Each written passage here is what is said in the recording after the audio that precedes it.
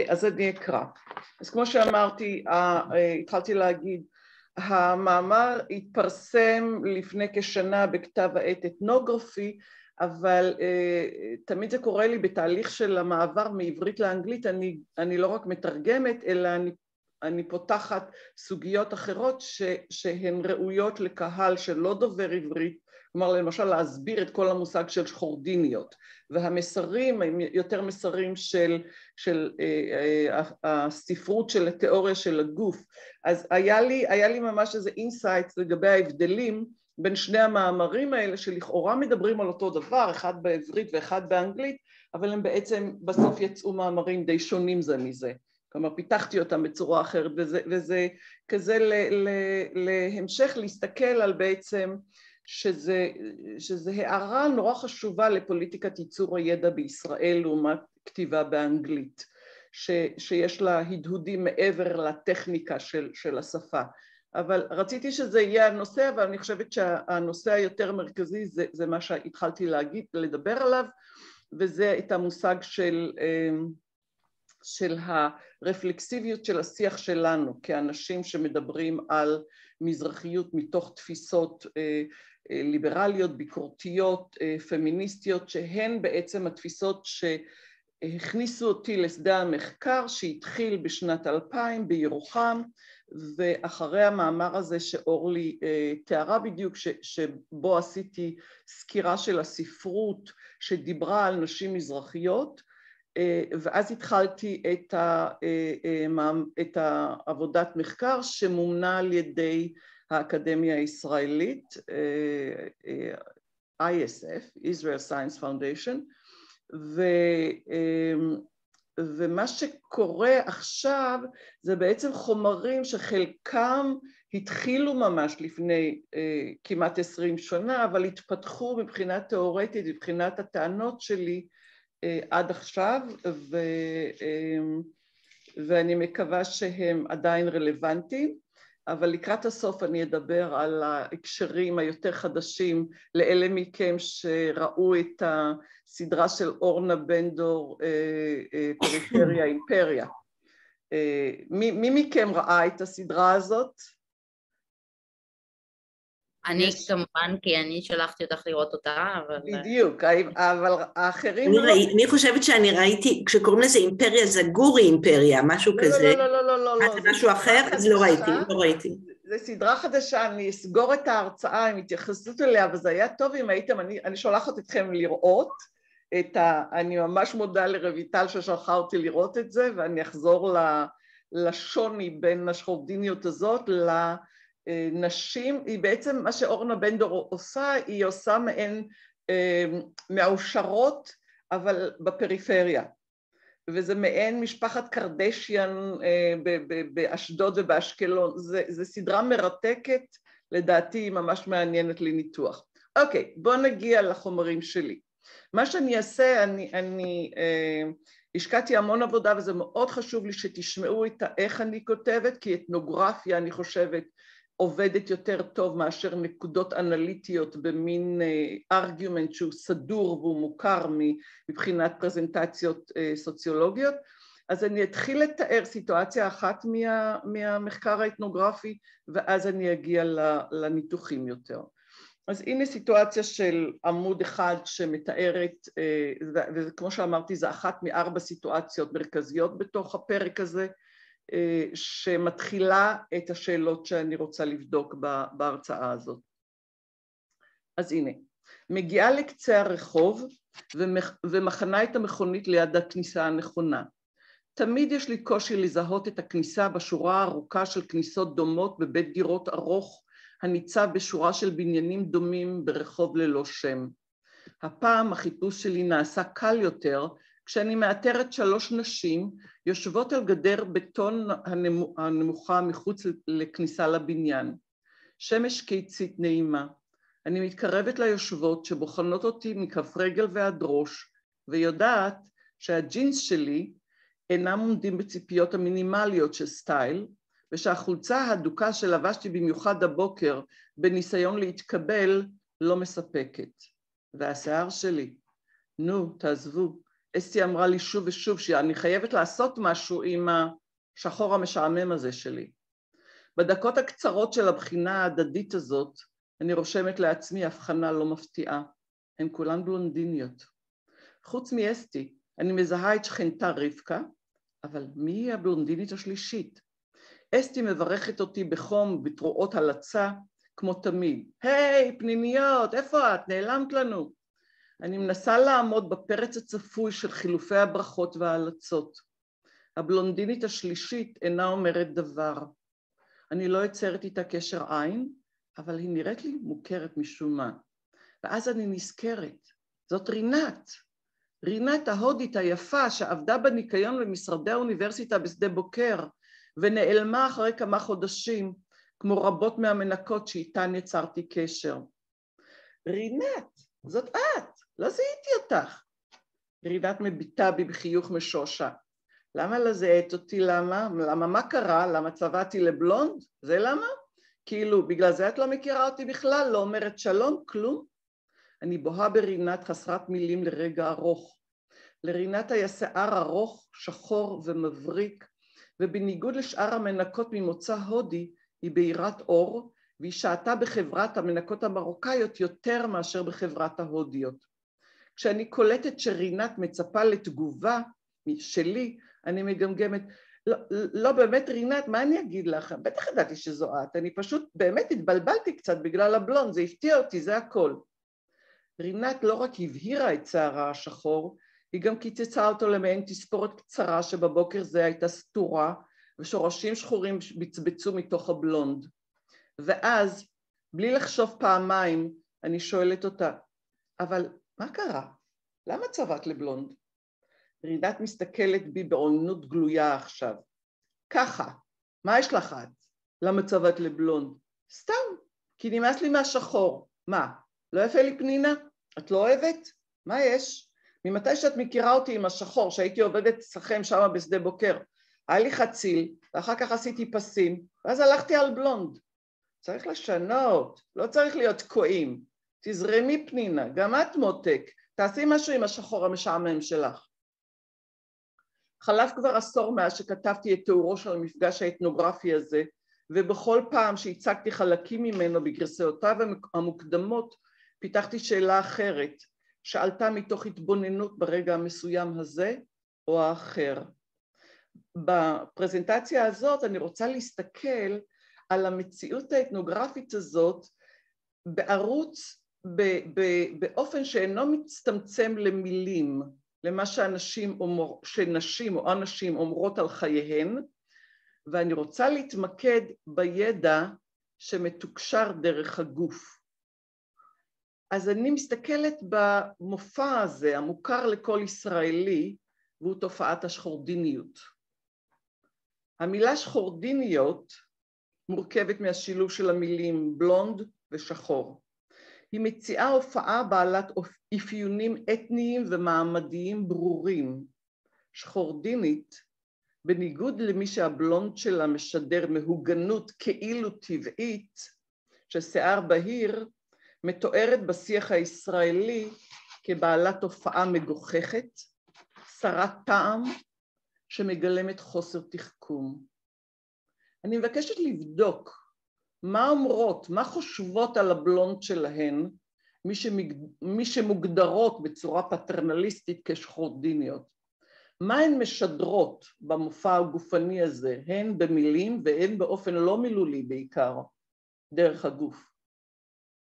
למה את צובעת לבלונד? שאלתי נשים בירוחם ובאתרים אחרים, מודעת למיקום המעמדי שלי כמזרחית שלא תצבע לבלונד. קיבלתי תשובות קצרות ולקוניות כמו כי זה יפה לי, כי בא לי על בלונד. אבל האם אפשר לעצור פה? האם תשובות לקוניות אלה אכן מספקות הסבר לתופעה ולמה שהיא מבטאת ברובד האישי והקולקטיבי.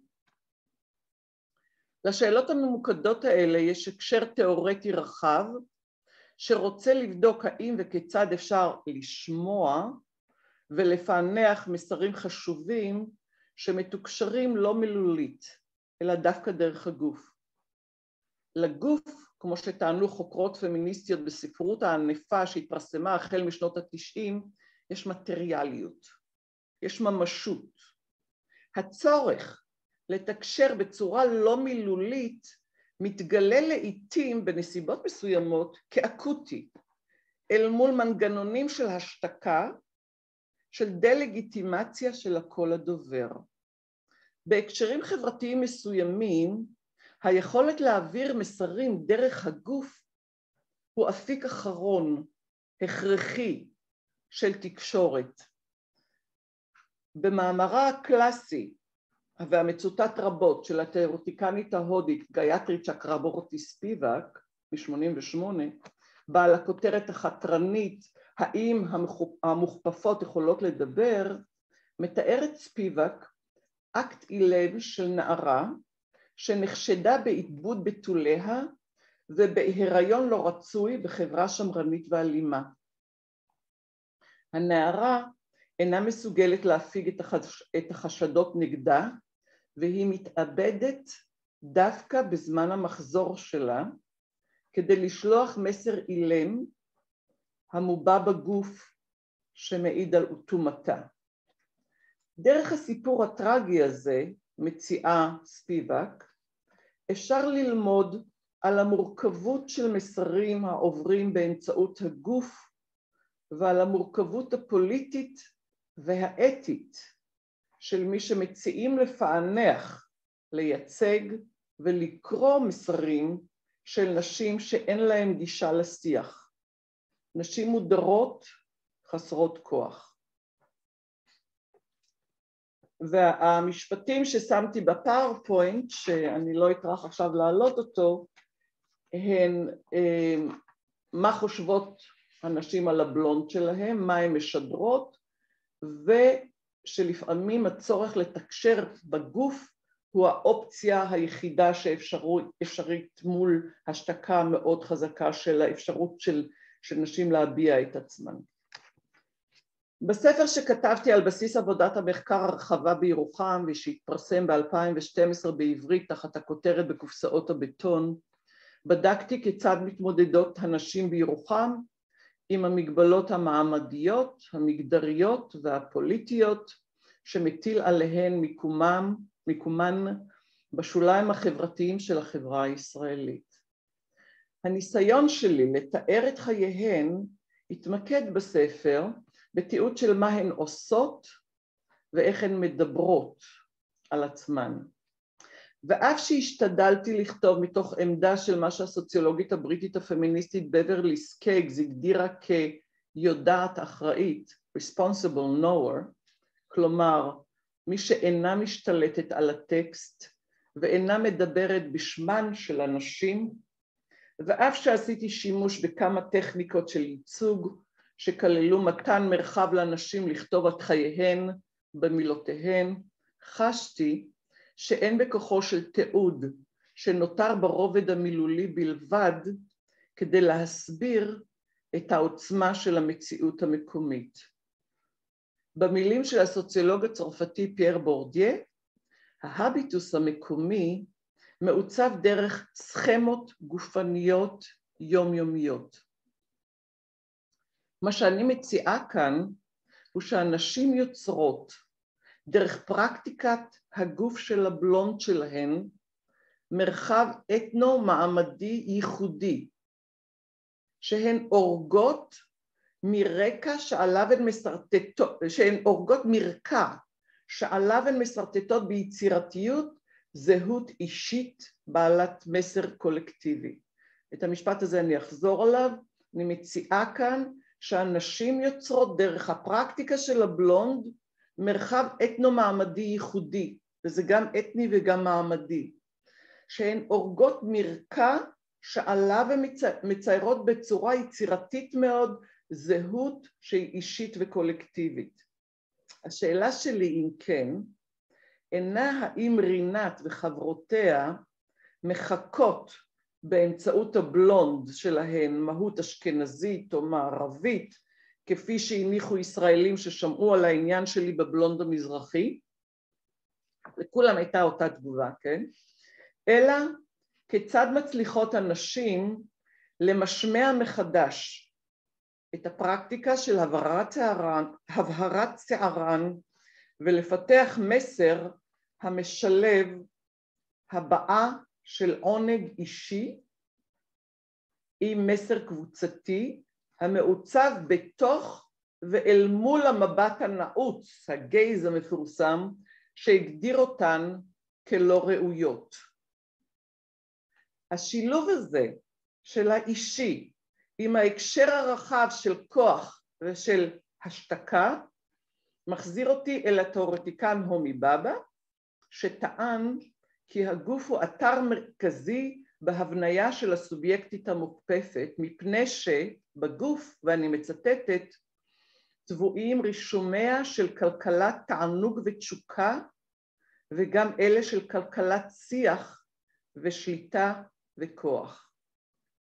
השילוב הזה של כלכלת תענוג ותשוקה במערך הרחב של שליטה וכוח עומד במרכזו של הפרק הזה שחלק ממנו אני מציגה היום.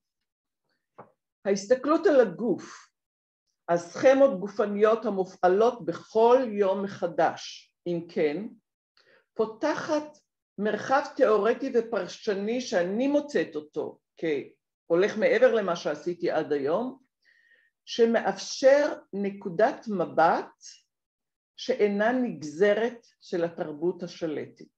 עכשיו פה זה המוקד של הטענה הפוליטית שלי של, של הפרזנטציה הזאת.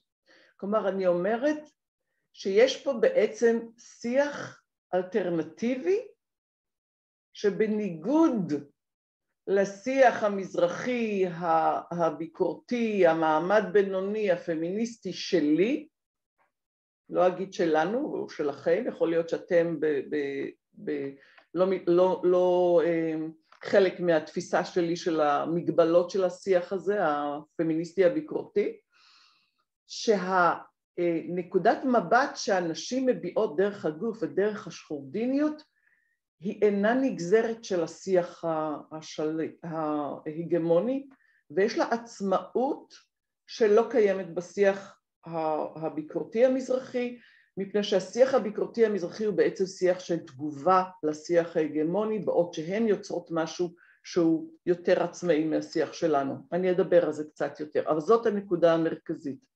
אולי כשאנחנו, כשאני אסיים את, ה, את ההקראה אני בכל זאת אראה לכם לפחות שלוש שקופיות מתוך המצגת שהולכות מעבר למה שאני אומרת עכשיו.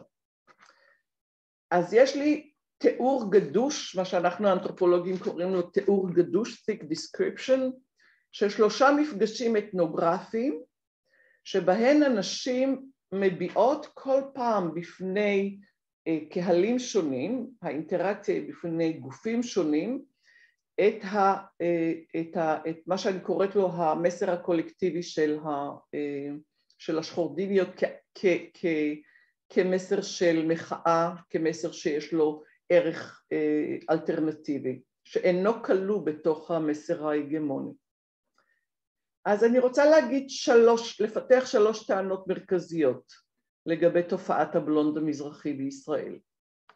הראשונה היא שיש במופע הזה של הבלונד המזרחי הצהרה שאינה מוגבלת להחלטה פרטית, אינדיבידואליות, של סגנון אישי. כמו שהיא אמרה, זה לא יכולתי חציל, אה, פסים, בלונד, זה לא נותר שם.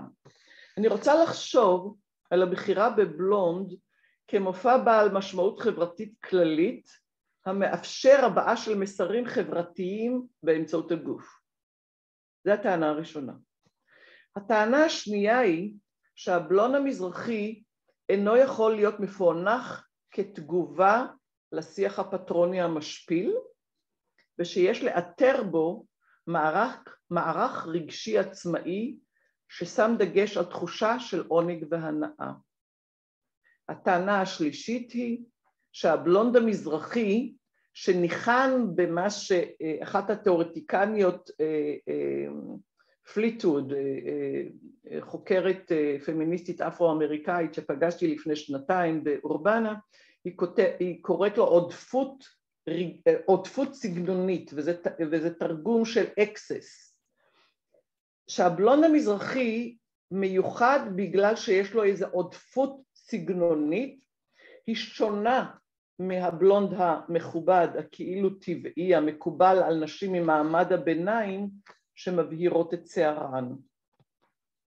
אני מציעה שדווקא בגלל העודפות הייחודית הזאת, הבלונד המזרחי מגלם פעולה סימבולית קולקטיבית שמחצינה ולפיכך חושפת את המלאכותיות שבניסיון של נשות מעמד הביניים להיראות בלונדיניות טבעיות, במרכאות. הבלונד המוגזם, הלא ראוי, חושף ולפיכך משברר את הטענה הישראלית ללובן, כן? מה ש... מה ש... אמ, אה, כאן זה לא אירופה, כן? בשיר המפורסם של מרגלית צנעני. הטענה המרכזית שלי היא שרינת, אסתי וחברותיהן אינן מחכות באמצעות הבלונד שלהם מהות מוגדרת של אשכנזיות או לובן, וגם שהן לא מתנגדות לשיח הפטרוני שהגדיר אותן כשחורדיניות. מה שאני מציעה זה שדרך פרקטיקות של הגוף, במקרה הזה הבהרת השיער, הן מייצרות זירה חדשה שבתוכה הן משרטטות באופן יצירתי זהות אישית וקבוצתית, ואני מפתחת את הטענות האלה לאורך ארבעת הסיטואציות האתנוגרפיות של, שהפרק הזה מתאר. אז בואו נחזור רגע לסיטואציה היחידה הראשונה הזאת שאני מתמקדת בה היום, לרינת ולאותו בוקר שטוף שמש של המפגש שלי עם שלושת הנשים שהפגינו שיער בלונדיני מול השיער השחור שלי. שרינת מביטה בי ובמה שהיא מגדירה כשיער השחור המשעמם שלך, היא בעצם מאתגרת את הפרפורמנס הבורגני של הבחירה שלי.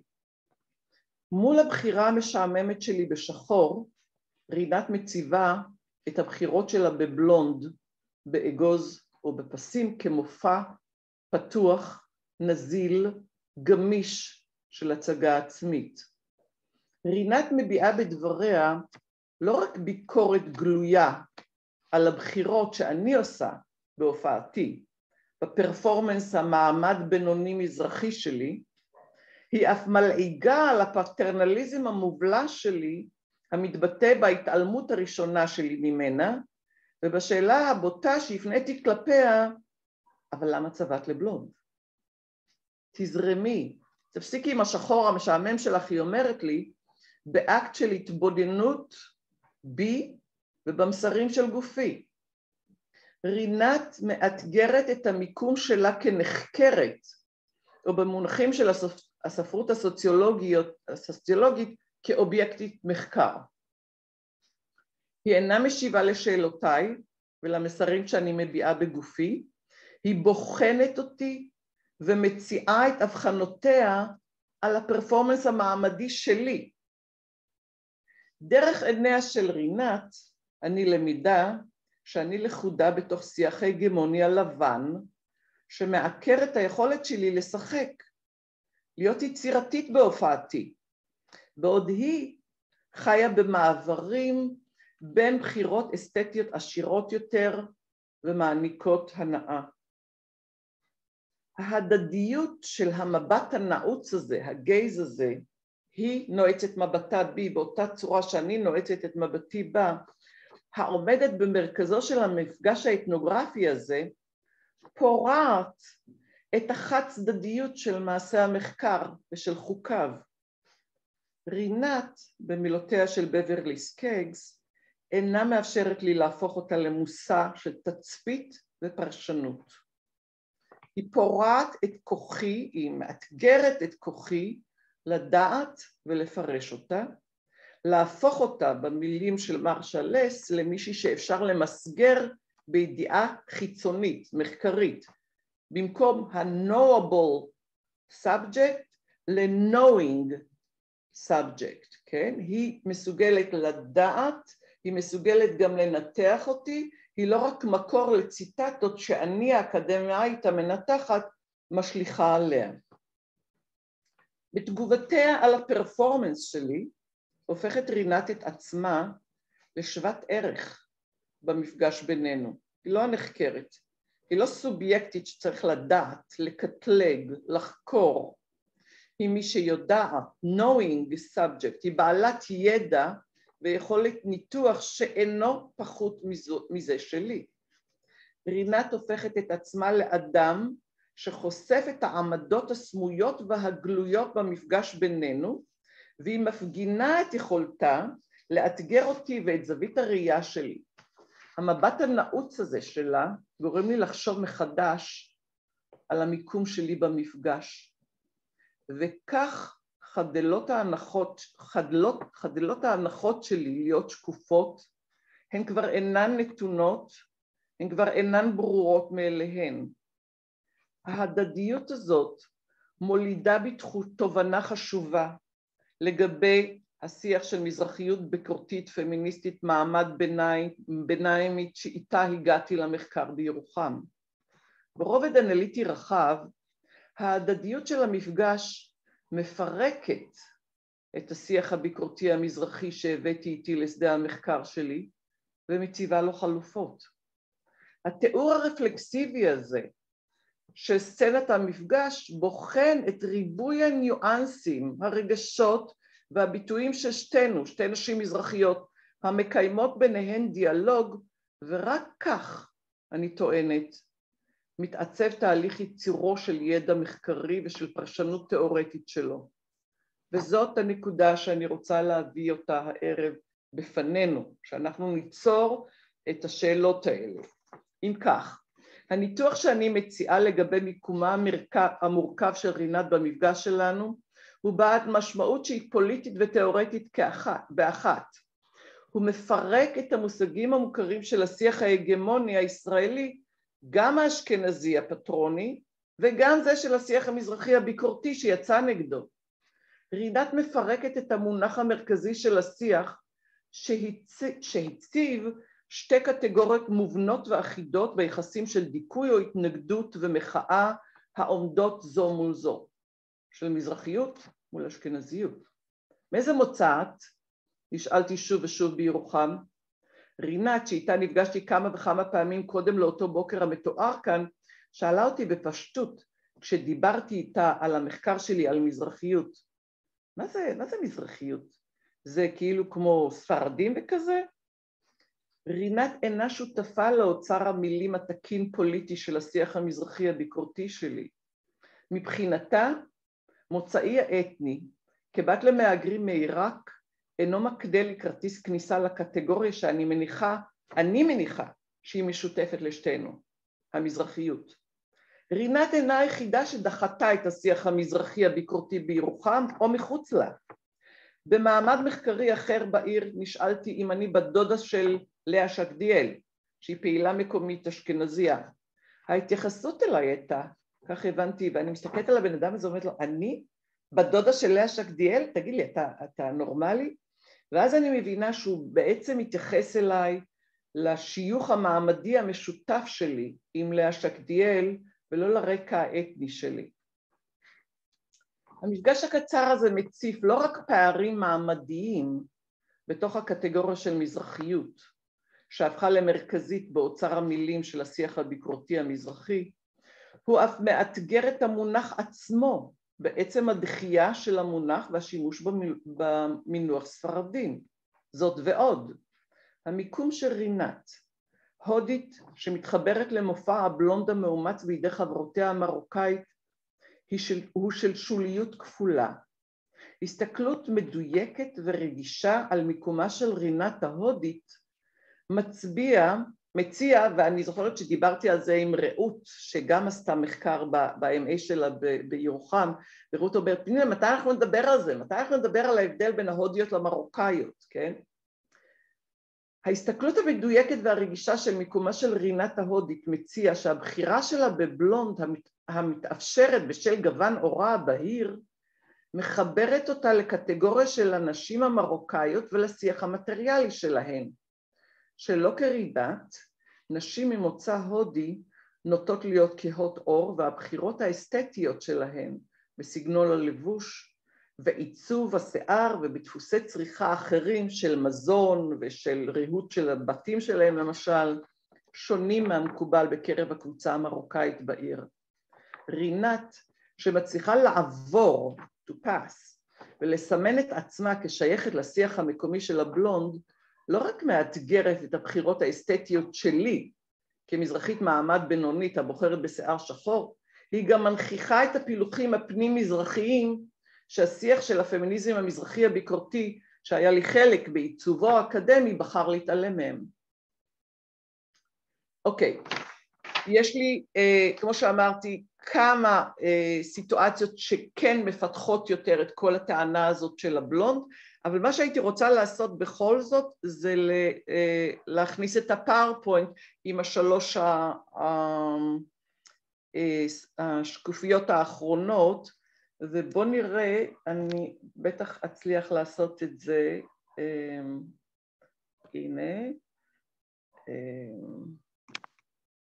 אני פותחת את הפאורפוינט,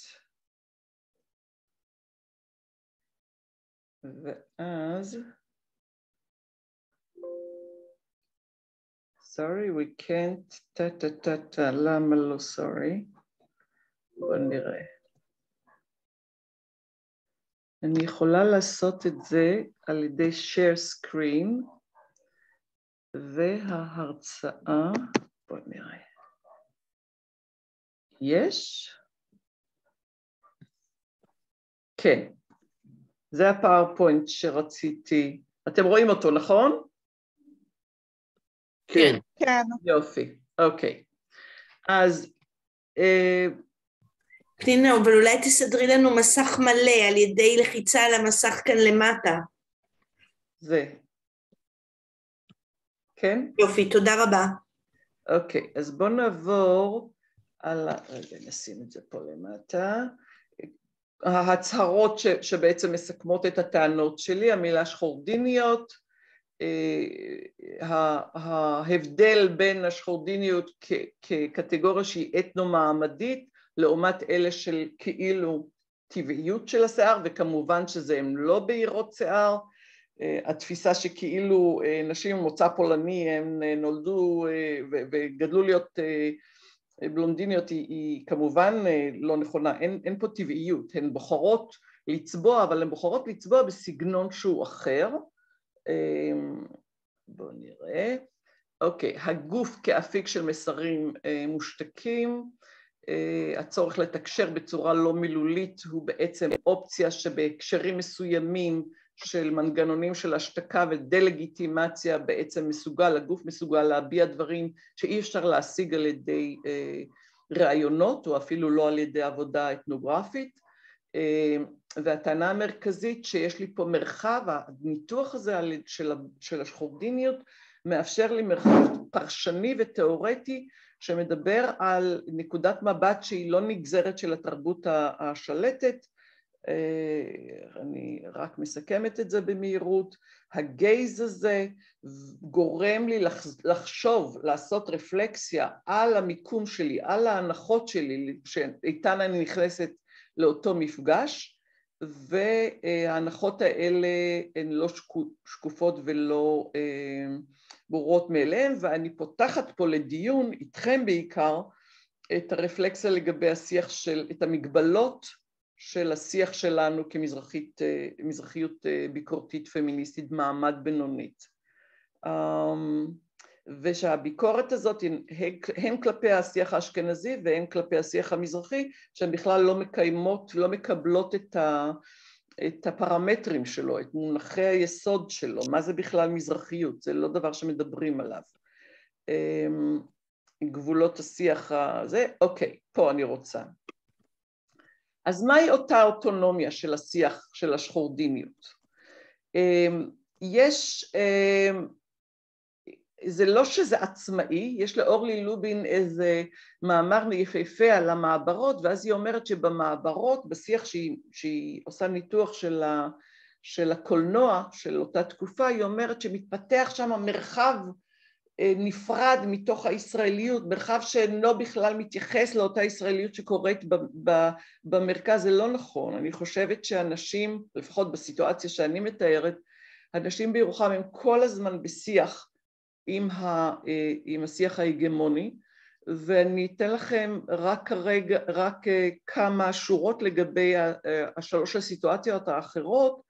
בסיטואציה השנייה שהיא לא, אנשים לא מדברות איתי ומולי, אני מביאה את, אה, אה, אפרופו אורנה אה, בנדור, שעשתה היא עשתה גם סדרה שנקראת בלונדיניות, הבלונד או משהו כזה, והיא שלחה את, את, את התחקירן שלה לירוחם, התקשרה אליי ואמרה לי שהיא רוצה שאני אבוא לדבר על, ה, על הבלונד המזרחי, אמרתי לה לא סליחה אני לא מדברת על הבלונד, את רוצה? תדברי איתן תשלחי את התחקירנים שלך ואת המצלמות שלך והם ידברו ישירות למצלמה.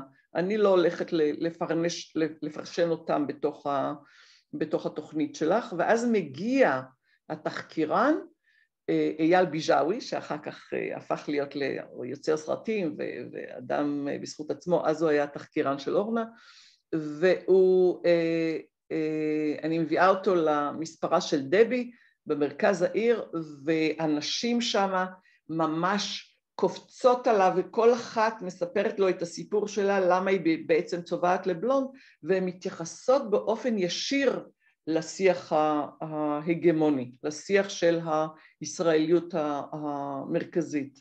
אז זו סיטואציה אחת שהיא מאוד מרתקת של איך שהן מגדירות את עצמן אל מול השיח המרכזי, מודעות שיש שיח מרכזי. כלומר יש פה איזה דיאלוג זה לא לגמרי אה, קורה באיזה פלנטה נפרדת, ירוחם כמין אי כזה שהן לא יודעות מה שקורה במרכז ומפתחות איזה מין שיח שהוא, שהוא לא קשור. יש איזה דיאלוג וה, וה, והדיאלוג הזה מייצר את אותה החירות שהן אה, יוצרות לעצמן.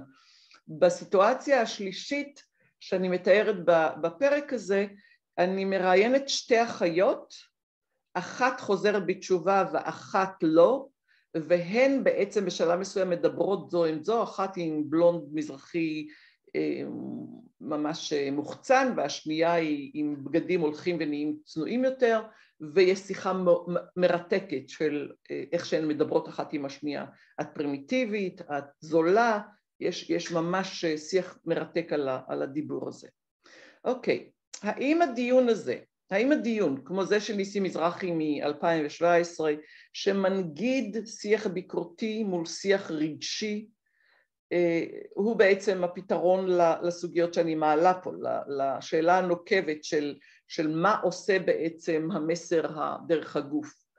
אה, ויש לי בפרק המון דיבור על, על אה, פרק של אה, ג'ודי באטלר שמדברת על אה, אה, The Politics of Emotion ועל כלכלת העונג של הומי בבא, אבל אני לא חושבת שזה שם.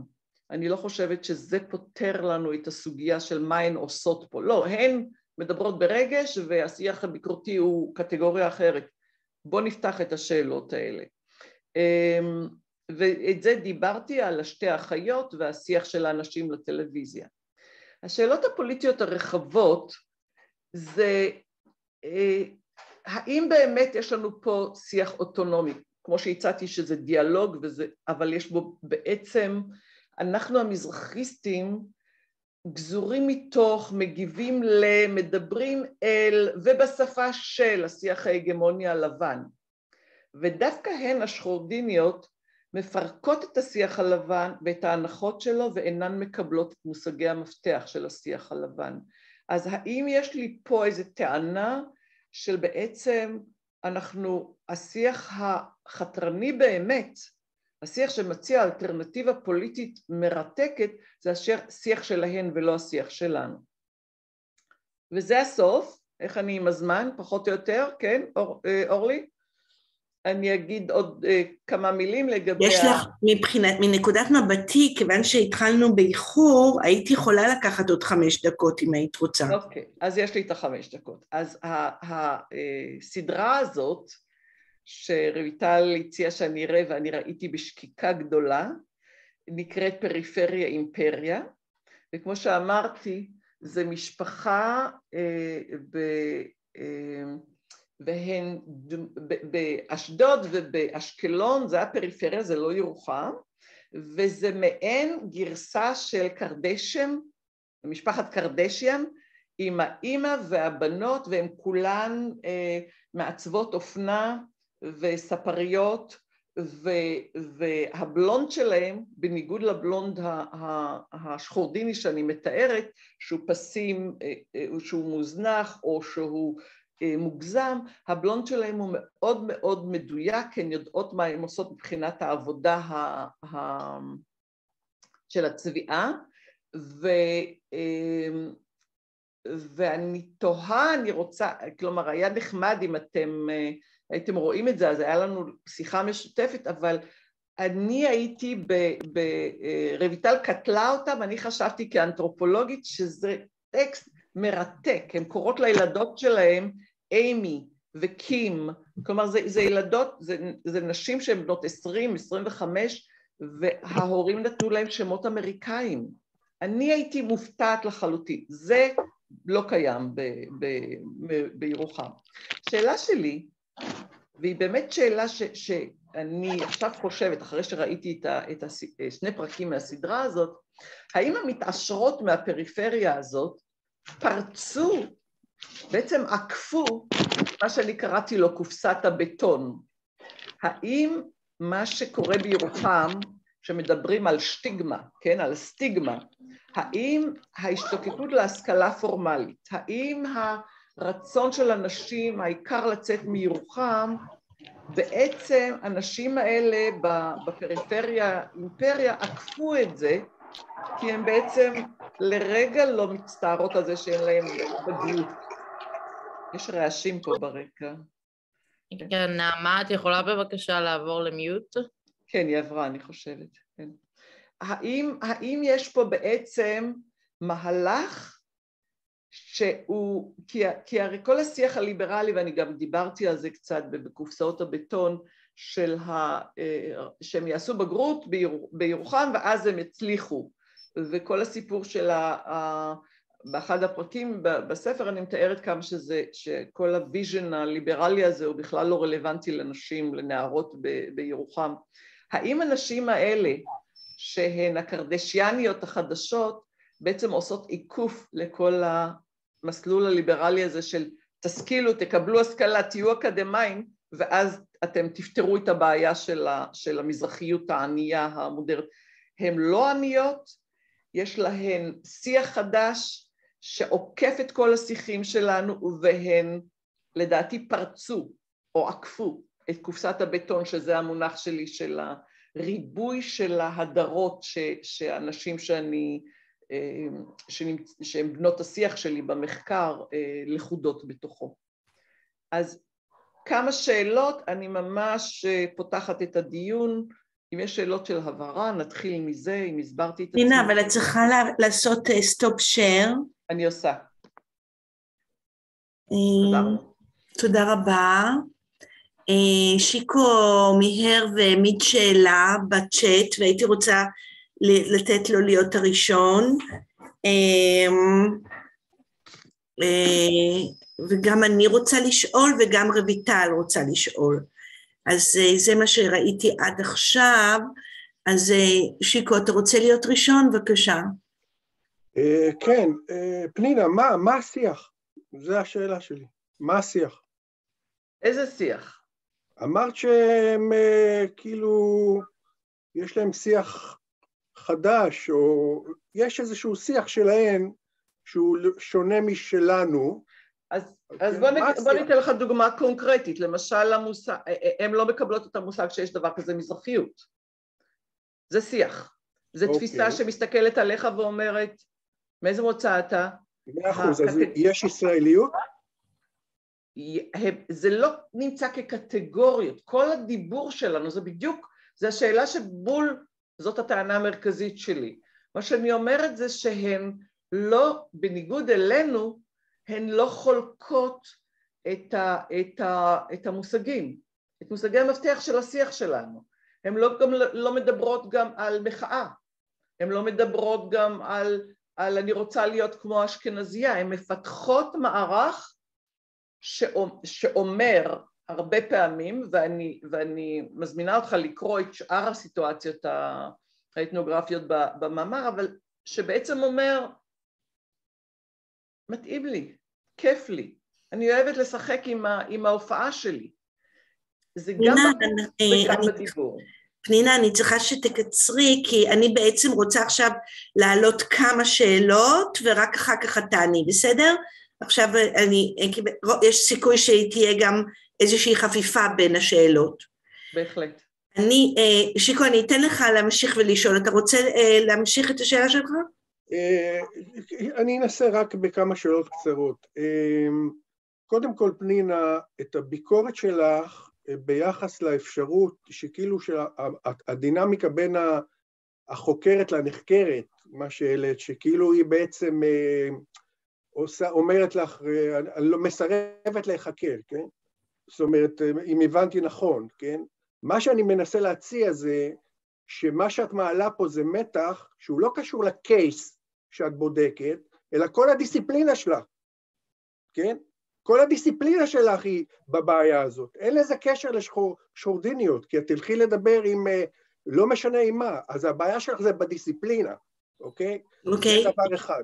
אה, ככה נראה לי, שזה רק מתבטא, כן? אותו דבר יקרה אם תלכי לדבר עם ווטאבר, אה, איתי. בסדר, אוקיי, שיקו, אני... בסדר, אז זו השאלה, ו... יופי, אני רוצה להביא עט. אוקיי, לא, לאן את הולכת? להביא עט. אה, להביא עט, בסדר. מהמשרד, שנייה, שנייה, שנייה.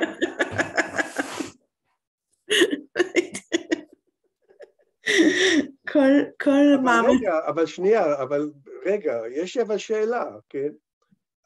או, או רק שאלה, עוד שאלה. שאלתי שאלה על הדיסציפלינה, ויש לי רק עוד שאלה אליה. יאללה, אז כן. תשאל עוד שאלה. אבל, אבל תוך כדי זה שאתה זוכר, שיש לנו כאן עכשיו רשימה מאוד ארוכה של שואלות. בסדר, יצא מקרה פעם בחיים שאני ראשון. קדימה, קדימה, שיקו. כן, אנחנו באקדמיה לשוויון, נכון? כן. אז אני עכשיו אומר פנימה, תראי, כשאני בא עכשיו לדבר עם שחורדינית, כן? אני מצפה ממנה הנחת של שוויון. מה זאת אומרת, כן? אני מכבד אותה, כן? במאה אחוז, והיא מכבדת אותי.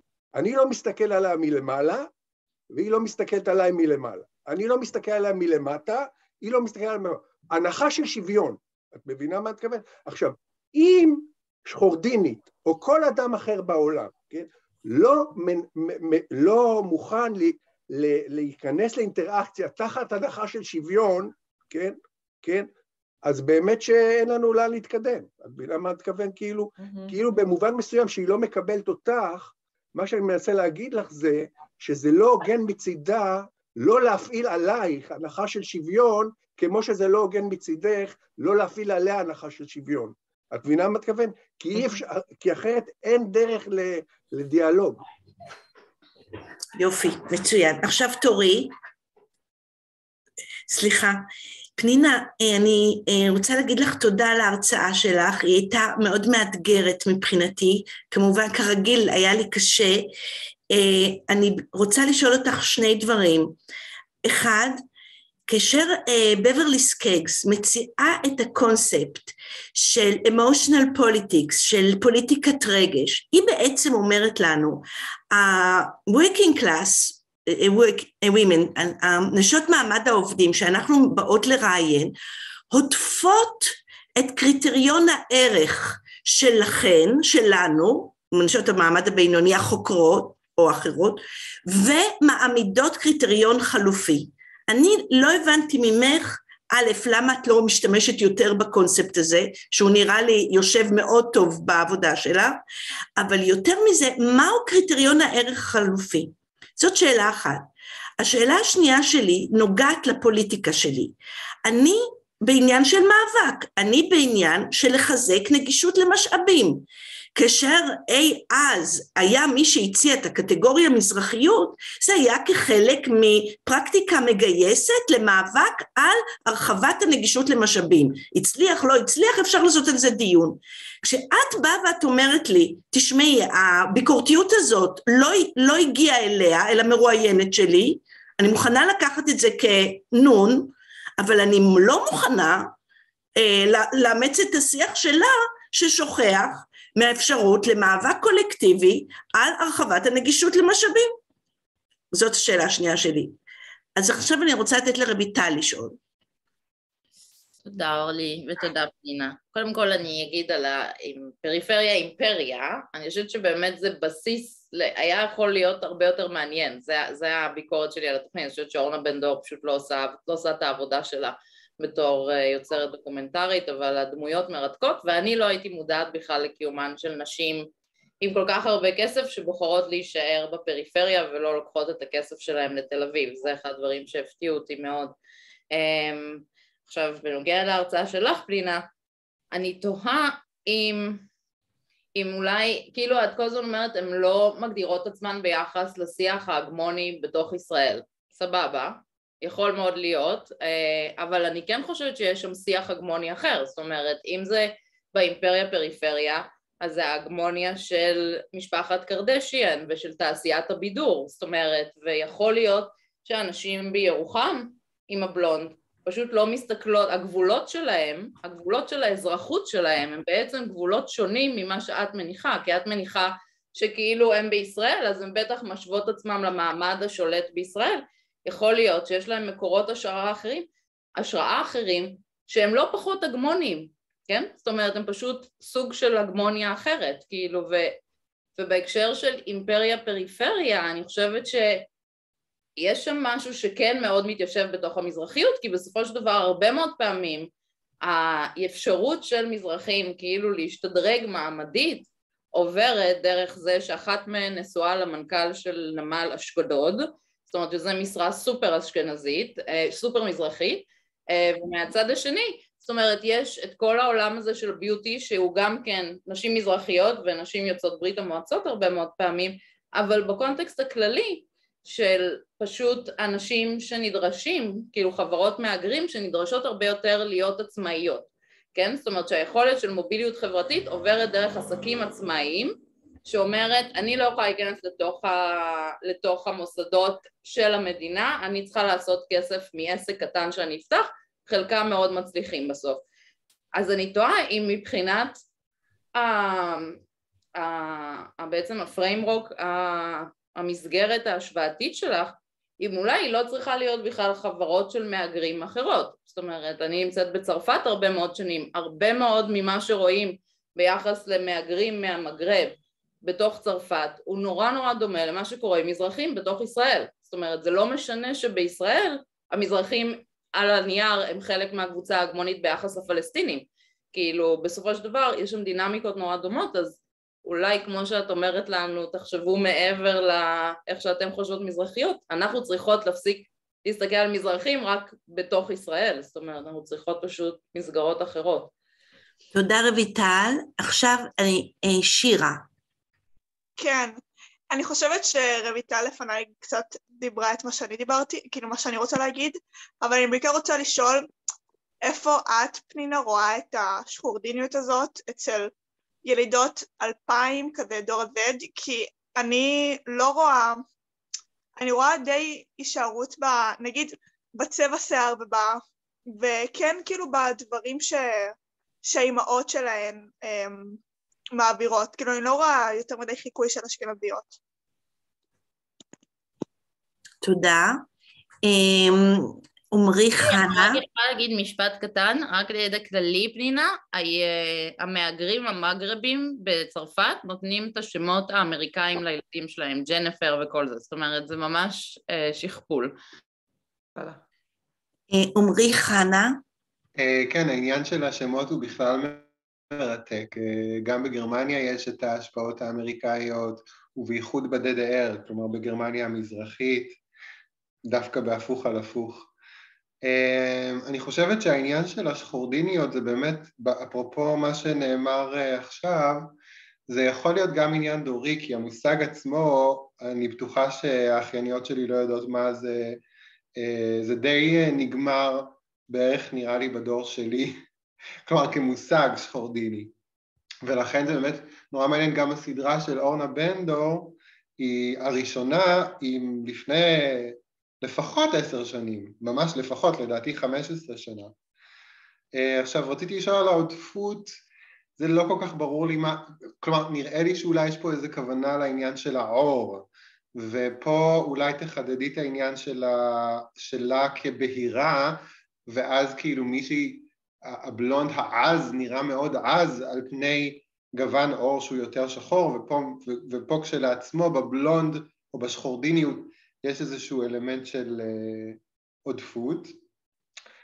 Uh, עכשיו בעניין מה שרויטל אמרה, uh, אני גם כאילו מסכימה, יש את העניין של הגלובליזציה, פשוט צריך להגיד את המילה, גלובליזציה שהיא מאוד מאוד חזקה, ההפרטה, הניאו-ליברליזם כאמור, וגם אה, שבירה של גבוה ונמוך, וזה את רואה בשתי דמויות מובהקות, אחת זו אופירה אסייג, שהיא לא בלונדינית, אבל היא כן ברונטית, יש לה איזשהו דיאלוג עם הברונטיות, והיא בוודאי ובוודאי ה-incarnation של אה, מה שהיה בזמנו, איך קראו לה, שברק אה, בישראל שיחקה אותה...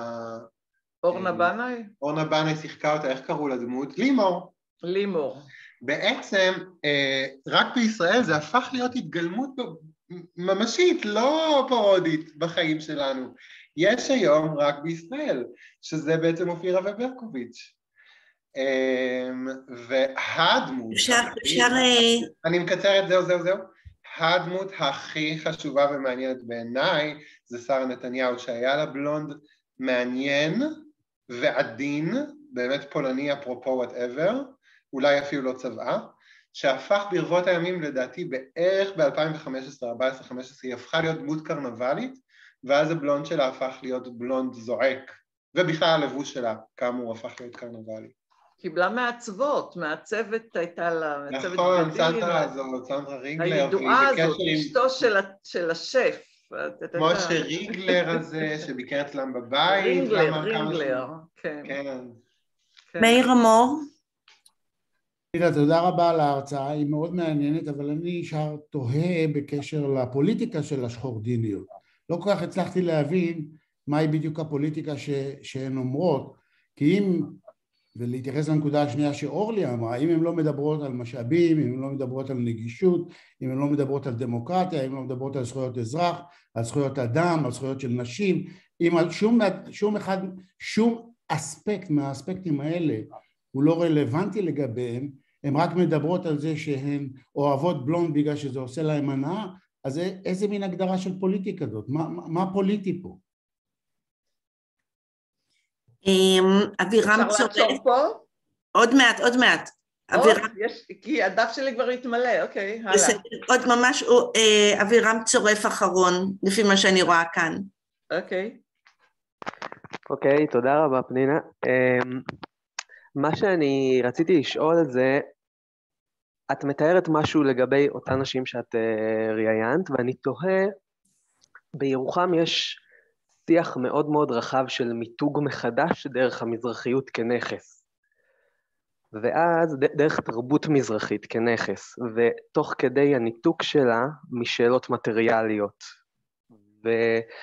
אני תוהה אם, ה... אם מה שאת מתארת של פריצה של קופסאות הבטון בתור הנשים האחרות מהסדרה, אם, אם זה לא, אם זה, אם זה משהו שצריך לקרוא אותו בתוך הסיפור הזה, סיפור שמושפע מאוד מאוכלוסייה אשכנזית חזקה, שיש לה כוח פוליטי מאוד מאוד חזק בירוחם, ומשפיעה על הצורך הזה למתג. אפשר לעצור אותך לרגע ותקרא לילד בשמו? אתה מדבר על התחזקות ואתה מדבר על קבוצות הגרעין שנמצאות לא, בירוחם? לא רק, לא רק, לא רק, לא רק, בכלל לא רק. תקרא לילד בשמו, תדבר במוצב. איילים, גרעין, כן, אבל זה לא רק, כן. גם קבוצות מתוך מעמד ביניים מקומי, שמדגישות, מדגישות הרבה יותר מיתוג מחודש של ירוחם כמקום מצליח, מקום מצליח דרך ההון התרבותי המזרחי שלו, אבל מנתק, מנתק קבוצות שדורשות לנתק את המאבק הזה משאלות, של,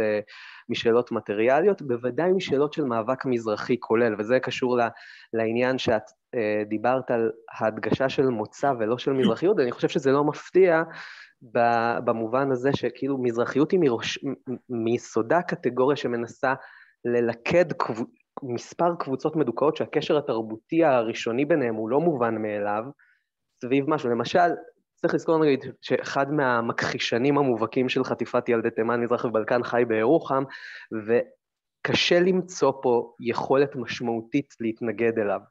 אין, אין פה מרחב מספיק גדול בשביל, בשביל להתנגד אליו בתוך ירוחם עצמה. בדיוק בגלל שזה כאילו מאבק שמזוהה לא, לא עם האוכלוסיות שמרכיבות את ירוחם. כאילו, לא, הוא, הוא אי אפשר לנסח את זה כמאבק מזרחי, בדיוק מה, מהסיבות שאת אמרת. תוכל לציין את שמו? אבי פיקר. אה, הוא גר בירוחם? לא ידעתי כן, עליו כן, את זה. כן, כן, כן. אני לא יודעת למה אתה מדבר בכזה הפשטות, אנחנו כולנו כי יודעים... לא מי כולם גרים בירוחם, לא כולם מכירים את ירוחם עד הסוף. אני כזה...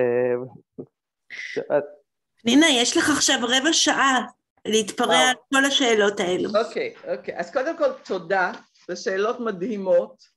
זה, זה, זה קהל ייחודי, כי אני מדברת, עד עכשיו דיברתי לא רק את הפרק הזה, אלא גם פרקים אחרים, או לאנתרופולוגים או ללימודי מגדר. או לאמריקאים שהיה צריך להסביר להם בכלל מה זה מזרחי ומה זה אה, אה, שורדיניות, it's a black, טה טה טה טה טה. כלומר, זה חלק מה... מה אני, אני עכשיו אובססיבית בנושא הזה של הדיאלוגים שאנחנו מנהלים. כלומר, לא להסתכל על זה כאילו שאנחנו כולנו מדברים אקדמיה ואנחנו, וזה מין שיח שקוף כזה, אלא כל הזמן להנכיח מי מדבר למי ואיך הדיבור הזה מבנה את, ה, את, ה, את הפרזנטציה שלנו. אז הדגש שלי היה לדבר על, על אה, אה, אקט שהוא לא מקבל את השיח שלנו, וזה כמה מהשאלות התחברו פה. גם השאלה שלך, אורלי, וגם אחר כך מאיר חזר ו- וממש חידד את מה שאת טוענת, אני לא בטוחה שאת תעמדי מאחורי איך שמאיר הדגיש את זה, אבל בקטע של, הן לא מדברות על זכויות אדם, הן לא מדברות על, על, על, על מאבק, הן לא מדברות על זה, אז איזה מין פוליטיקה זאת? ואני חושבת שה... ואת שאלת אם הם, אם הן לא, בוא נסתכל, לפני שדיברת על, על סקייגס, אם הן, היא לא מוכנה לאמץ את, את השיח, אז היא לא נאבקת כמוני. אני הפוליטית, אני זאתי שעושה את המאבק. אני וה... וה, וה לפחות אני אוהבת לדמיין את זה על עצמי. בדיוק, בדיוק. ומה שאני אומרת, זה בואו רגע תצאו מה, מהתפיסה של מה שאנחנו עושים כאקדמאים, כנאבקים, כאקטיביסטים, כמעין אמת מוסרית, נכונה. אם הן לא עושות את זה, אז משהו איתן לא בסדר. איזה מין מאבק יש להן? ולהגיד, בוא ננסה להקשיב כמו בדוגמה שנתתי של, של, של ספיבק, בואו ננסה לראות מה קורה כשאין להן את השפה, את ההון התרבותי, את המערכות של, ה, של הארגון ושל החשיבה על חברה בצורה של מאבקים, אבל יש להן כן עמדה שהיא פוליטית, רק צריך לחפש דרכים לחשוף אותה. כלומר פוליטיקה זה לא רק האקט הברור והמוחצן של אני מחזיקה שלט, אני נגד זה ואני נגד זה, העוצמות של המחקר האנתרופולוגי, ואני חוזרת לה, ואני כאן זורקת הערה למה ששיקו אמר, העוצמות של מחקר אתנוגרפי זה ביכולת להגיד בואו, בואו נפרום ובעצם נגיע לאופנים ש, של אקט פוליטי שהוא, שהוא לא מתנגד, לא פוליטי. הוא לא פוליטי שהוא לא פוליטי. לא, זה פוליטי. זה, ומה שאני טוענת שזה יותר פוליטי מהפוליטיקה המוצהרת של אנשים עם אג'נדה רדיקלית אקטיביסטית. זה בדיוק האתגר שאני מציבה ויש לי תחושה שאנחנו פה אבל את לא עונה לנו, את יכולה להמשיך ולהגיד, אבל את לא עונה לנו על, על הפוליטיות, אם, אם הפוליטיות היא מאבק על משאבים, אז איזה מין, איזה משאב היא מנכסת רגע, רגע, או, אז או אני לא, מגייסת, אני לא מסכימה שפוליטיקה זה מאבק על משאבים. אני, על אני ערך? חושבת, לא, אני? חושבת ש... בוא, בואו ניקח, בואו נחזור בעצם לרצף הזה שבין השחורדיניות בתוך קופסאות הבטון בירוחם, שהן אה, עניות, והשאלה של, ה, אה, של עמרי ששאלה, ביקשה ממני לחדד את, ה, את המושג של העודפות, אז אני מתארת את זה, זה, זה בלונד שהוא, איך הן אומרות בשיחה האחיות, זה צריך להיות אה, הכי, אה, אה, איך, איך, איך קוראים לזה? שהבלונד הוא ממש כמעט לבן והוא מוחצן והן יודעות שזה מה שהן רוצות. הן רוצות לעשות את זה שזה לא ייראה טבעי. זה בדיוק העודפות הזאת. עכשיו, מה שאני מציעה זה שיש פה, אה, כולנו מתמודדים, מה זה פוליטיקה? פוליטיקה זה לא אה, אקטיביזם, זה, זה, זה אקטיביזם במונחים שלנו, שלך אורלי כאקטיביסטית, של אנשים שחושבים על, על אה, חלוקה מחדש של, של משאבים כלכליים, אבל כולנו נמצאים, בעיקר אנשים שנמצאים בשולי החברה, הסאב-אלטרן, המוכפפים, צריכים להתמודד עם הכוח ש, שמושפע עליהם. שנכרך עליהם. אז הדרך להבין איך הם מתמודדים היא בעצם נרטיב שאנחנו מספרים לעצמנו.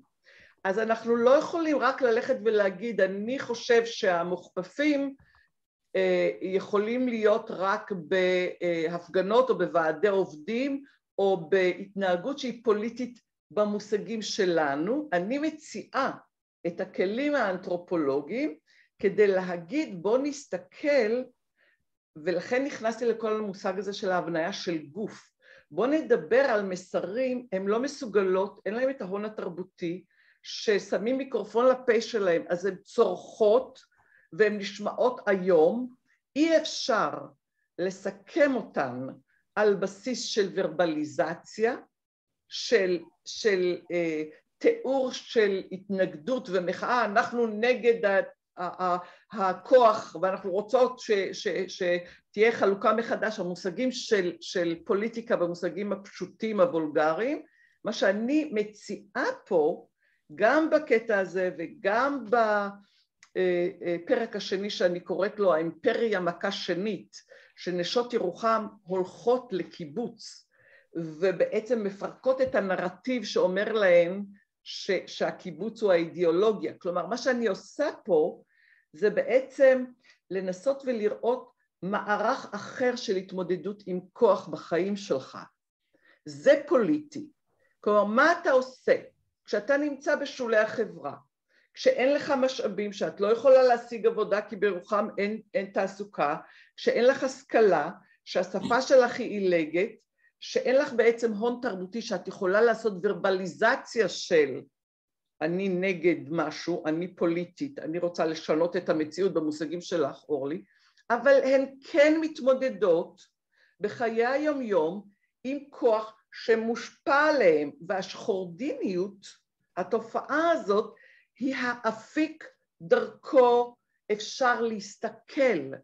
זה, ה, זה, ה, זה ה, העדשה שדרכה אני מנסה לראות איך הנשים האלה מתמודדות עם מערכות של כוח בחיים שלהם.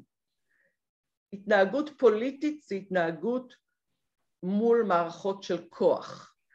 היא לא צריכה להיערך במושגים שלנו, אני טוענת שהיא לא יכולה להיערך במושגים שלנו, היא נעשית בדרך הגוף ודרך השיח שהוא בדיאלוג אבל אינו מקבל את המונחים שלנו.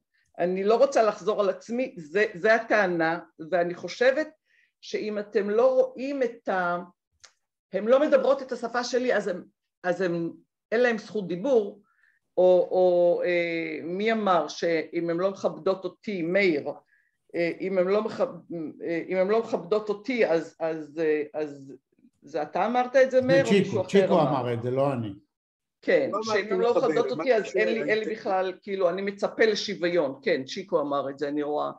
אמ, לא, זה לא שהן לא מכבדות אותך, כל המעשה המחקרי זה המפגש, זה האינטראקציה שהן רואות אותך ואתה רואה אותם, וזה לא בעיה, כמו שאמרת שיקו, זה בעיה של, ה, של הדיסציפלינה שלך.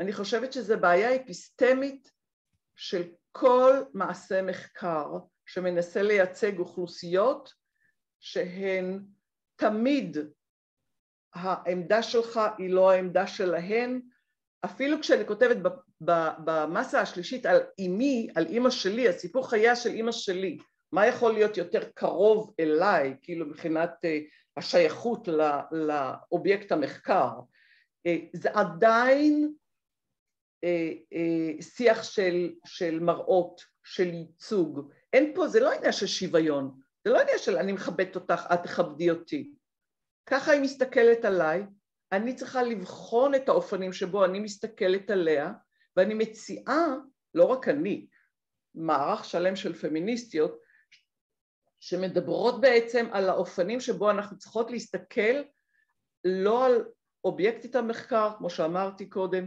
אלא על אה, אה, דיאלוג עם סובייקטית, עם, עם השותפה למחקר שלי. והידע המיוצר הוא בעצם התוצאה של ההתבוננות ההדדית הזאת.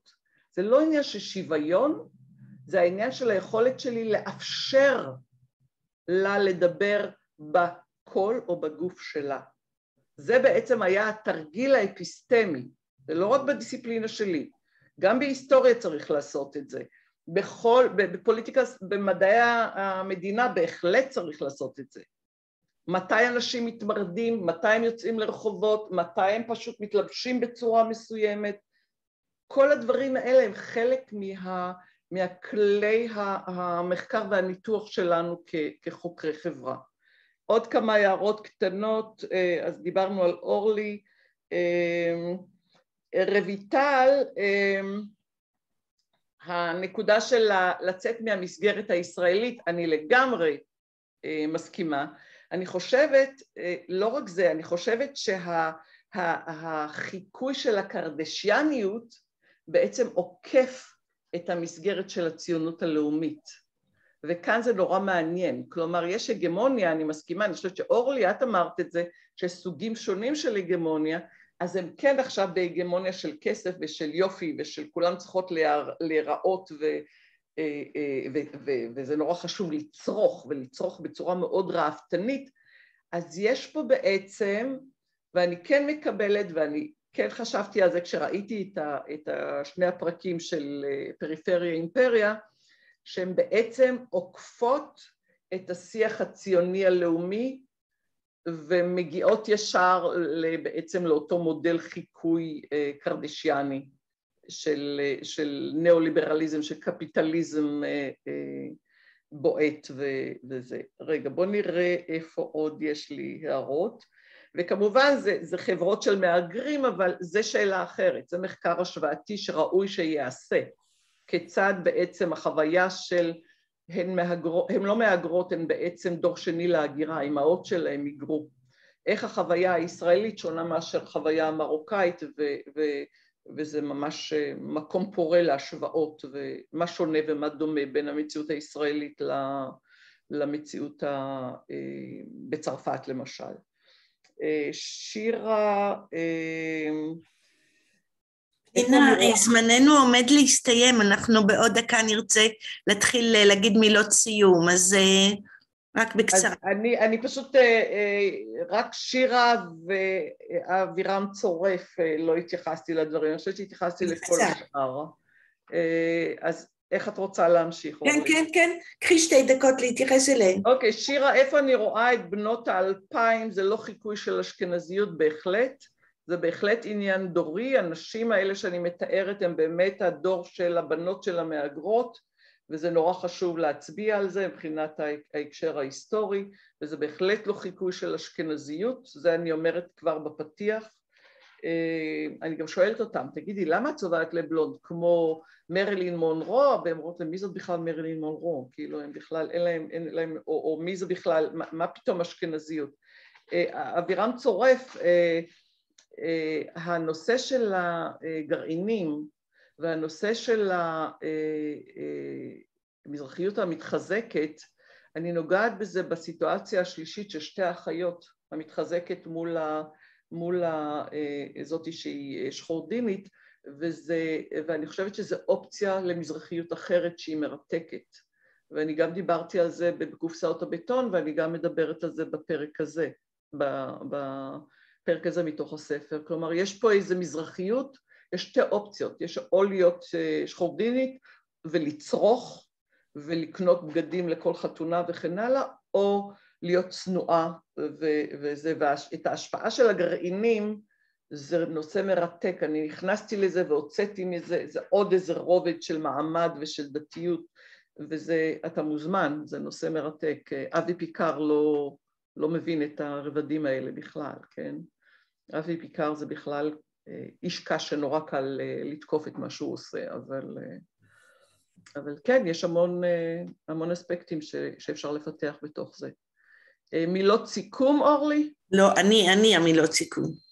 את רוצה, לומר, את רוצה להגיד משפט סיכום? בבקשה. לא, אני, אני, אני חושבת ש... אני אמרתי את דבריי ואתם שאלתם, זה כאילו שאני...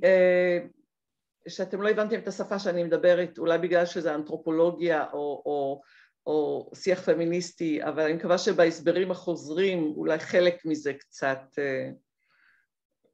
קצת הובהר. אז אורלי, בבקשה.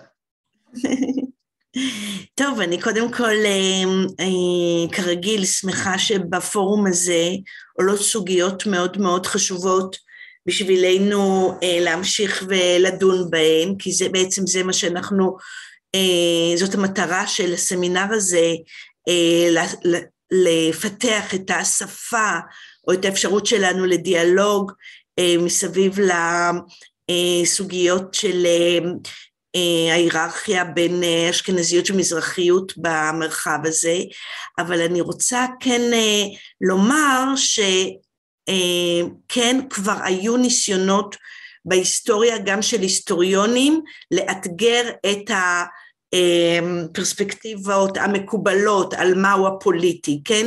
אני הצעתי כאן, אני בק... הייתי רוצה שכאן תסתכלי רק רגע על ה... לפני שאנחנו, בזמן שאני אומרת דברי סיום, תסתכלי על הצ'אט, כי... אני עושה את זה בדיוק. כל מיני דברים מעניינים. בדיוק מסתכלת. יש אפשרות לשלוח את הצ'אט אחר כך, הוא נשמר בזום דרך אגב, אפשר לשלוח אותו כטקסט לידע כללי. אה, בואו נראה אם אני אצליח לעשות את זה. בכל אופן, ולמי ששאל לגבי סדרת פריפריה, רק להגיד תשובה לשאלה, אפשר למצוא את זה ביוטיוב. לכתוב פריפריה אימפריה, ויש שני פרקים ראשונים. אני אה, חושבת שיש אה. עוד פרקים, אבל הם שחררו לצפייה חופשית שני פרקים ביוטיוב, תחפשו את זה שם. אהה. אז תודה רבה לך, פנינה. אה, למדנו הרבה.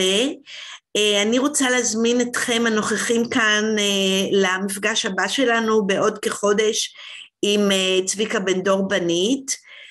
אחריו ידבר אלינו אבירם צורף על ה...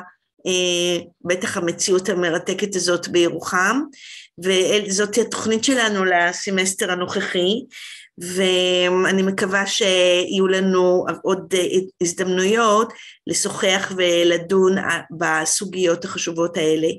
אז אה, תודה רבה לכולכם שבאתם, אני רוצה להזכיר לכם שאפשר למצוא ביוטיוב של אקדמיה לשוויון אה, הקלטות של אה, מפגשי העבר שלנו, אנחנו עובדים גם על השלמת ההקלטות של אה, מפגשים ראשונים שהיו בסמסטר הקודם, שאנחנו קצת מאחרים איתם, אבל זה מתחיל להתקדם, ונשמח לראות את כולכם גם בחודש הבא. תודה רבה לכם.